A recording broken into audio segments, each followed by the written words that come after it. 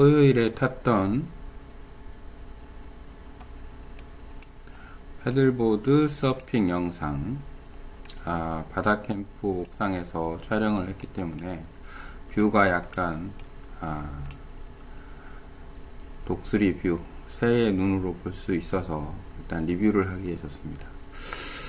음, 아쉬운 점이 있는 서핑 영상인데 이 영상을 리뷰를 할 건데 뭐가 아쉽냐면 지금 서핑을 하고 나서 어, 실제로 서핑할 때는 좀 긴장감이 있고 스피드가 있, 다고 느껴지기 때문에 또는 스피드가 있는 걸 수도 있고 그냥 빨리 가기에 급급하거나 아니면은 그냥 중간에 조금 오르락내리락 하려고 하는 거에 급급한 경향이 있습니다.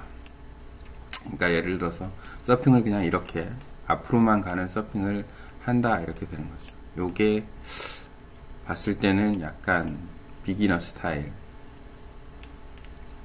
초보자 스타일의 어떤 서핑 로깅이라고 볼 수가 있는데 그게 아쉬운 점이고 그러면은 어떻게 하면 되느냐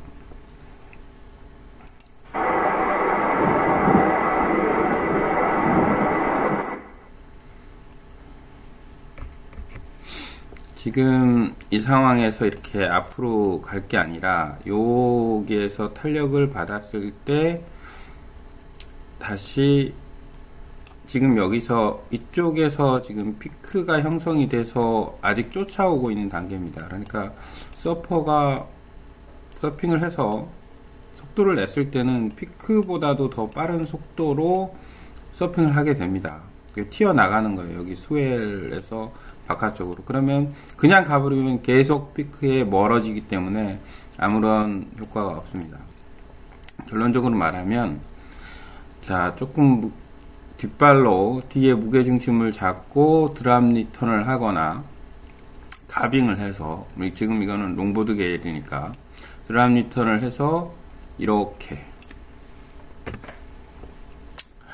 드랍 리턴을 해서 아니면 가빙을 해서 좀 이 뒷발을 뒤로 빼서 터닝을 해서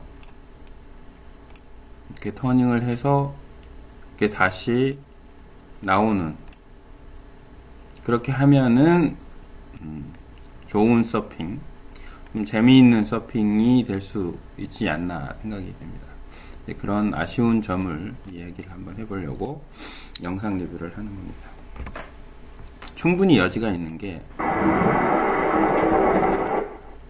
지금도 아직 그 여유가 있는 게 지금도 여기는 아직 살아 있어요. 근데 나는 이쪽으로만 가고 있고 이렇게 갈 게 아니고 백을 해서 이렇게 턴을 해서 안으로 치고 다시 나오는 요거까지 시도를 해야 되는데 음, 만만치가 않은 자세지만 충분히 연습을 할 수 있지 않나 생각이 됩니다. 그래서 어떻게 연습을 할 것인가 바다에서 연습을 한다는 건 쉬운 게 아니고 바다에서 연습한다는 건 쉬운 게 아니고 land 서핑, surf 스케이트보드로 연습을 하면 될 것 같습니다. 지금 여기 지금 여기까지 왔는데 와서 이미 스탑이 됐는데 파도는 지금 이쪽에서 밀고 밀고 오고 있습니다. 그만큼 여유 있게 터닝을 해서 이 파도랑 같이 서핑을 했으면 더 재밌는 파도를 탈 수가 있는 건데 어, 그런 점이 좀 아쉬운, 아쉽습니다. 자, 그러면은 어떻게 연습을 할 것이냐. 자, 여기 land surfing 하는 부분이 있는데 지금 여기서 지금 land surfing 만리포 skate park인데 여기서 지금 어, 똑같은 방식으로 계속 뱅뱅 돌기만 하는데 만약에 똑같은 조건에서 연습을 한다 그러면은 이렇게 진행을 해 와서 여기서 back turn을 해서 약간 슬로프가 있으니까 백턴이라고 보고 백턴을 해서 다시 front turn으로 이렇게 front turn으로 다시 나와서 도는 연습 요거를 하면 어, carving이 되지 않을까 생각이 됩니다. 그래서 지금 이 64회인데 어, 65회부터는 어, 천천히 하더라도 뱅뱅 돌 때 돌고 백턴 프론턴 다시 한 바퀴 도는 이런 연습을 통해서 어, 서핑을 좀 재밌게 좀 다양한 동작으로 할 수 있지 않을까 생각이 됩니다.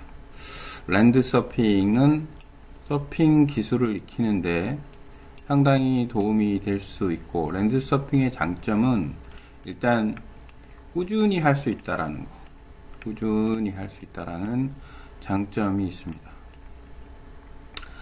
파도는 여러 가지 좀 제약이 있고 준비하는 거 파도가 있어야 되고 이런 어떤 어, 제약이 있는데 뭐 예를 들어서 발리처럼 파도가 계속 들어오면 그런 곳에서는 쉽게 서핑 연습을 하고 즐길 수 있고 실력도 향상을 시킬 수 있겠지만 그렇지 않은 곳에서는 아, 아무래도 어, 랜드 서핑을 통해서 훈련을 하면 안정적인 자세를 취할 수 있고 그 자세를 계속 트레이닝을 하다 보면은 더 안전한 세이프